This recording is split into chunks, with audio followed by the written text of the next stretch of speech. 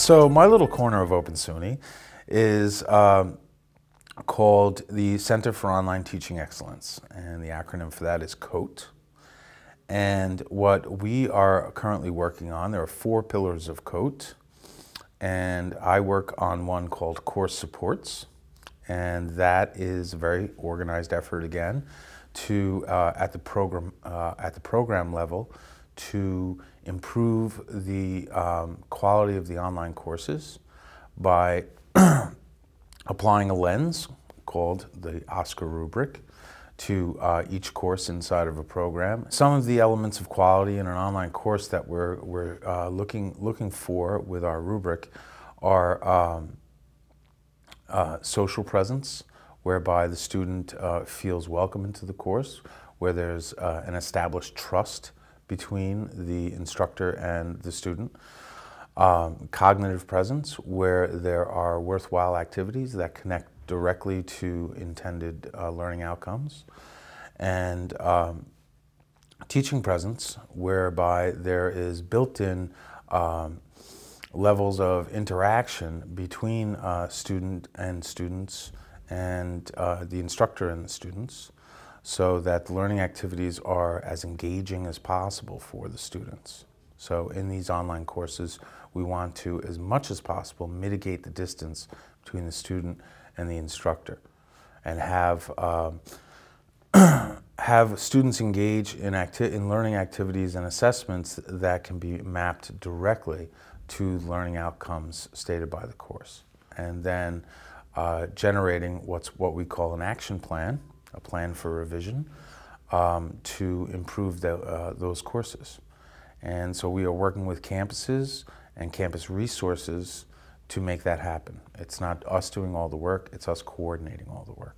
We offer some resources to campuses that um, enable them to um, use their own resources as well as the uh, community at large. So in Open SUNY, we have um, generated a, a, community of over 700 members at this point.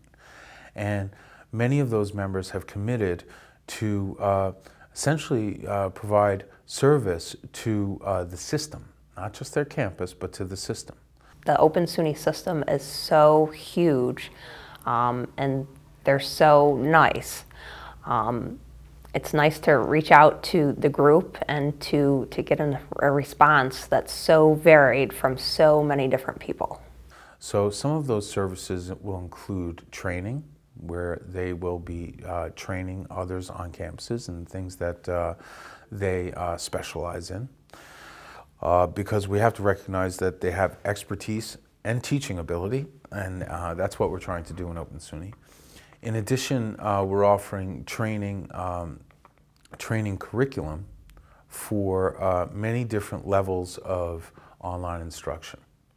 So from the very beginner level of developing a new course and teaching online for the first time, all the way to uh, highly experienced uh, instructors, even further up the ladder to, uh, ex to expert instructional designers through the Instructional Designer Certificate Program. Um, we also, there are also certificate programs for directors of online learning. Um, so uh, what we're offering is essentially is training and resources. Um, also our rubric, which we're very happy with, um, called the OSCQR rubric. Uh, again, an instrument uh, through which um, campuses can um, determine a level of revision needed for their programs and for their courses. And what we want to be able to want to be able to do is help campuses with certain processes such as uh, uh, making making all courses accessible, making sure that um, that the law uh, that compliance laws are followed, and not all campuses are able to do that with their current resources. So we want to help them and support them in doing it. In terms of faculty support, we realized we're a small operation on campus. What can we do to help the faculty when we're not there? We look to SUNY for that, and we've gotten the SUNY Help Desk, the extended hours for weeknights and weekends, and that has been really just a plus, adding to what we're able to do for the faculty who want the one-on-one and, excuse me, to see us on campus. They now are also able to go to SUNY for help. Already, Open SUNY COTE, again, Center for Online Teaching Excellence, has um, provided a framework for some campuses to, uh, to use on their campus to improve the quality of their programs. So sometimes campuses have to make this up on their own, and that could be a lot of effort and sometimes not as fruitful as, as that being supplied for them by a larger system. So when they see their neighboring campuses using uh, a framework and, they, and perhaps see a little bit of success with that framework, uh, campuses tend to align along those, uh, those types of, of efforts and resources when they see them working.